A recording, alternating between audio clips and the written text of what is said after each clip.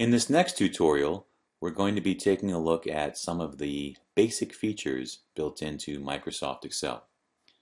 Let's go ahead and start off by launching the Excel program. Um, Excel is part of the Microsoft Office suite of tools and you'll notice when you open it up it gives you a chance to uh, select a template or uh, create a blank workbook. Let's go ahead and uh, create a blank workbook uh, and we're going to be uh, reviewing uh, specifically we're going to be reviewing cell referencing paying particular attention to um, absolute versus variable cell referencing and then we're also going to take a look at the the autofill feature and some of the useful properties built into autofill. So as in every other Office program, we have the, uh, the ribbon at the top, which contains uh, the different menus and buttons that we can use to navigate through Excel. Uh, the Home tab is the one we are looking at now. so when we're working with Excel, um, just a couple of quick comments here about the, the navigation and uh, the, the screen itself. Um, you'll notice we have what's called a worksheet that comes up by default. Um, worksheets are uh, individual um, pages or sheets within Excel uh, where we can add um, different formulas and different uh, different data.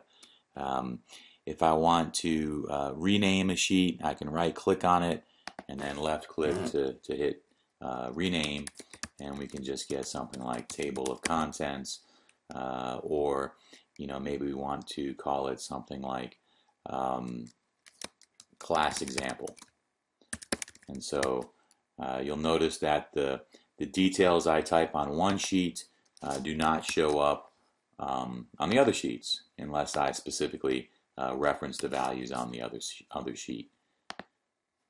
All right, so Excel by default has this um, row column notation. Uh, all rows are designated by a number and all columns are given um, a letter of the alphabet. And the active cell is indicated by a, uh, a rectangle. Uh, in this case, it looks like it's a, it's a green rectangle. So when we are working with Excel and creating Excel formulas, we need a, a mechanism to, uh, to, to, refer to uh, a region or a, a, set of cells or a specific cell um, in a given worksheet. And, and so uh, the way we refer to a, a, cell or region of cells is, is through cell referencing. And um, to refer to a single cell, we just give it the, the column and row uh, combination. So right now, I have highlighted cell F2. Um, if I click in a, another region, uh, on the worksheet, I have cell I11 highlighted. And it's pretty nice. It'll tell me exactly what is highlighted in the top left corner as well. If I have a, a range of cells highlighted, so I just clicked and dragged to, to highlight a range of cells, um, the way I reference or refer to those range of cells is just by um, referencing the first cell. Uh, so in this case, it's F9 and then putting a colon after the first cell and referencing the last cell in the range. Uh, in this case, it's going to be F17. So let's look at a, a few examples of, of, how cell referencing comes into play. Um, let's just say I want to add a few numbers. So maybe I have 12 plus 36, and you'll notice to enter data, all I do is um, highlight the cell uh, and start typing. Uh, and uh, you know, here I have um, typed in or entered three numbers by typing the value and then pressing the return key. Now, if I want to add or, or sum or create a, a total of these three numbers, um, there are several ways in which I can do so. Uh, first, there's this handy, neat little sum button uh, in the ribbon. I can just click on it. It's going to make a guess regarding what values to, uh, to total. I'm going to go ahead and enter because it looks like it selected the right values and now it creates the, the total for me. I'm going to add a few labels here. Um, so you'll see uh, Excel takes both text and numeric data. Um,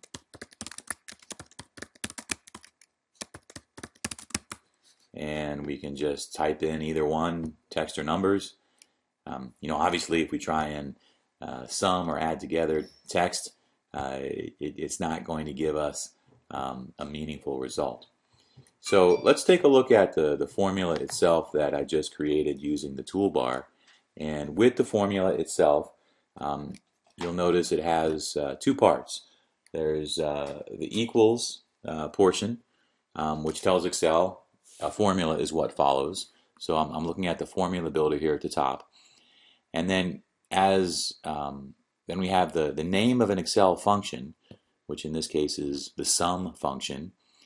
And then every function takes one or more parameters. And so here the parameter for the sum function is just the range of cells uh, that I would like to total or sum. So um, uh, that's it.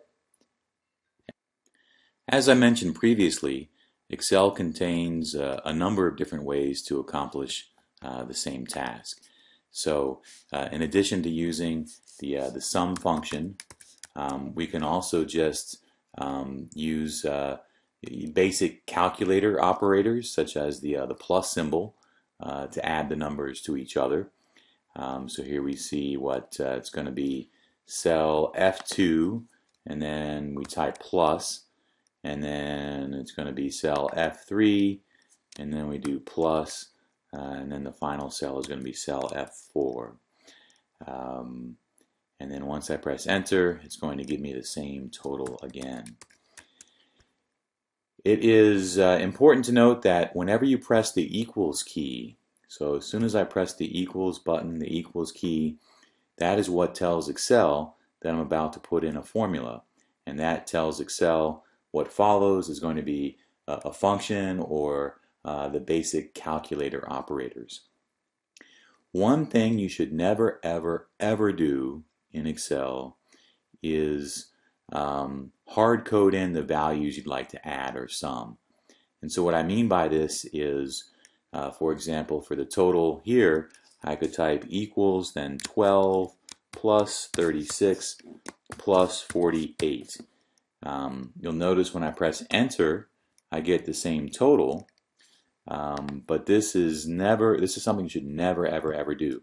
And actually, if you do this, you, are um, going to get, you're actually going to automatically fail your Excel case.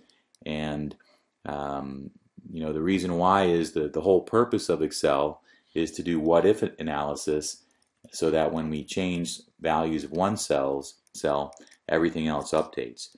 So what I mean by that is let's say we change number 24, I'm sorry, number 1 from 12 to 24, you'll see uh, the two totals down here update while this total does not. So again, never ever ever hard code values. Uh, you, you should always try and um, only have a value entered one time and then anytime you need to, to get that value, uh, refer to it by its, uh, its cell uh, reference. Um, you know, we can also use the, the sum function with a, a slightly different set of parameters. So, um, you know, here it's, it's showing me I can separate my uh, cells uh, by commas. So I can do uh, F2, comma, um, F3, comma, F4. And that's going to give me the, uh, the same total. And this concludes the tutorial on Excel Basics.